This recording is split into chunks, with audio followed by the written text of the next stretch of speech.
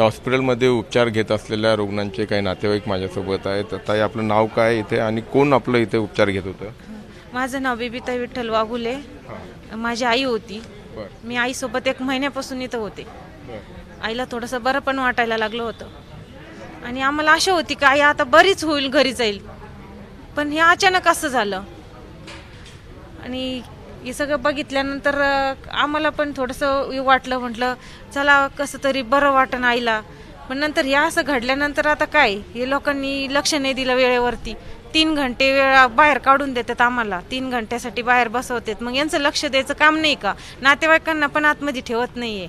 मग यांचं लक्ष द्यायचं काम नाही का? आता इथे ते कोविड सेंटर होतं कोरोनाच्या रुग्णांवरती तो उपचार सुरू होते.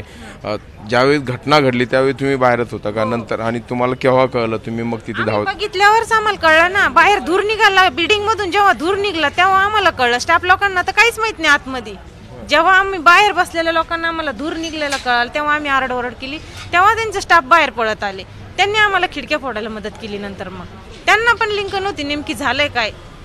आयुष्यामध्ये कोणीच नसतं ना मग. नातेवाईक बाहेर काढले स्टाफ बाहेर येऊन बसतो. मग आतमध्ये कोण असतं? सगळे सिरियस पेशंट असतात ना. पेशंट लोकांना काय आरडता ओरडता त्यांना एक तर मास असतात ऑक्सिजनचे मग त्यांना काय बोलता येणार आहे? आणि ज्यावेळेस ते धूर वगैरे निघला तोपर्यंत पूर्ण काळोख झालेला होता ना आयुष्यमध्ये. आयुष्य म्हणून तर राहिलाच नाही तो बघायला. पण पेशंट पण त्याच्यामध्ये गेले ना खूप पेशंट गेले ना त्याच्यामध्ये.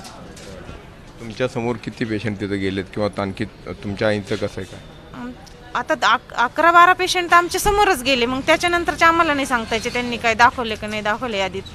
अकरा बारा पेशंट गेले आमच्या पेशंटबद्दल काय सांगितलं त्यांनी? आमच्या पेशंटबद्दल काय मग आता बरं वाटत होतं पेशंटला आमच्या. पण मग हे असं झालं लगेच पेशंट दगावलं ना मग.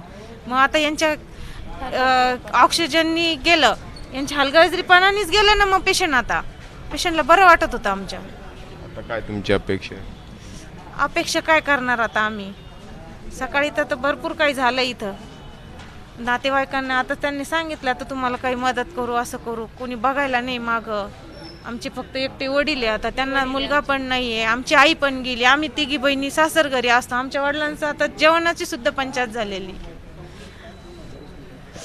अतिशय दुर्दैवी किंवा दुःखद घटना म्हणावी लागेल.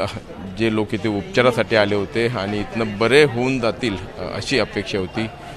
त्याऐवजी आय सी यूमध्ये उपचार सुरू असतानाच त्यांना या ठिकाणी त्यांचा जीव गमावा लागलेला आहे. व्हिडिओ नितीन सांबोरचं अरुण मेहत्रे झी मीडिया नगर. कोरोनाने वाट लावली. पोटा पाण्याचा प्रश्न सुद्धा तयार झालाय. दिवाळखोर व्हायची वेळ झाली. धंद्यांना पूर्ण नुकसान झालेलं आहे. तुमच्या जवळच्या दुकानदाराकडूनच वस्तू खरेदी करा आणि कोरोनाने उद्ध्वस्त झालेल्यांना मदतीचा हात द्या. संकल्प दिवाळीचा संकल्प झी चोवीस तासचा.